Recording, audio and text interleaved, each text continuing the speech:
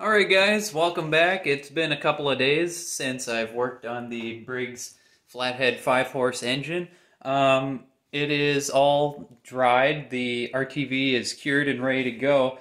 So uh, now we're just going to finish putting this back together and uh, hopefully have a working engine back again. Alright, we got our engine flip over to the other side. Uh, first thing we're going to do here is uh, put that flywheel back on. So uh, I'll get that done here quick and uh, cut back. Alright, now that I got that flywheel back on, that's impacted, nice and secure, it's not going anywhere, um, I can go ahead and put this ignition coil back on. Alright, we got our coil on, we have our gap set to matchbook thickness, those look nice and even, Got our back fan shroud on.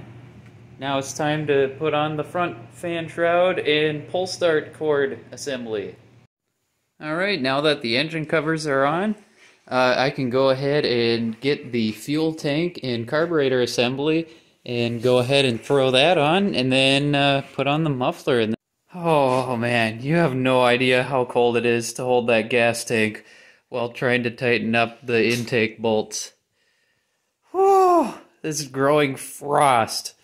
This was sitting out in the garage, so it didn't fume up the house, but wow, that's chilly. This is always the best bolt to tighten up.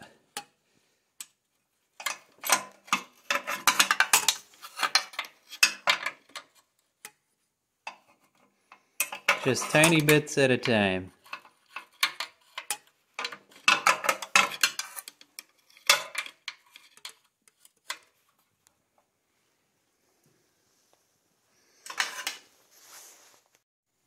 Alright, now we have our carburetor, fuel tank, linkages, and kill switches all hooked up. Uh, so we are ready to go ahead and throw on that muffler.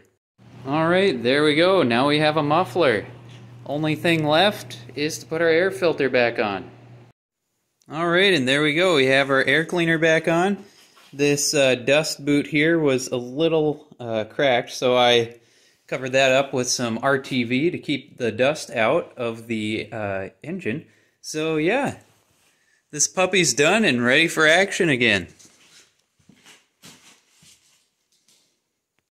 Alright guys, thanks for watching. That's the end of the video. Uh, I had a lot of fun rebuilding this Briggs 5-horse. Um, the plan is to put this on another go-kart uh, so I can race around with a friend and uh, have a second one uh, for doing tandems and whatnot. Uh, so yeah, that's that's the plan. It should be pretty fun. And if that doesn't pan out, I have another Briggs 5 horse that I could just put on a bike or anything else. Uh, it's a really universal engine, super easy to work on, and they're dead simple and reliable, and I love these engines. So uh, yeah, having an extra one on the shelf that's got a fresh rebuild, always a good thing. Um, if you guys like this video, make sure to give it a thumbs up and uh, hit subscribe and the notification bell so you'll be notified when I publish the next video. Anyway, I'll see you guys next time. Thanks for watching.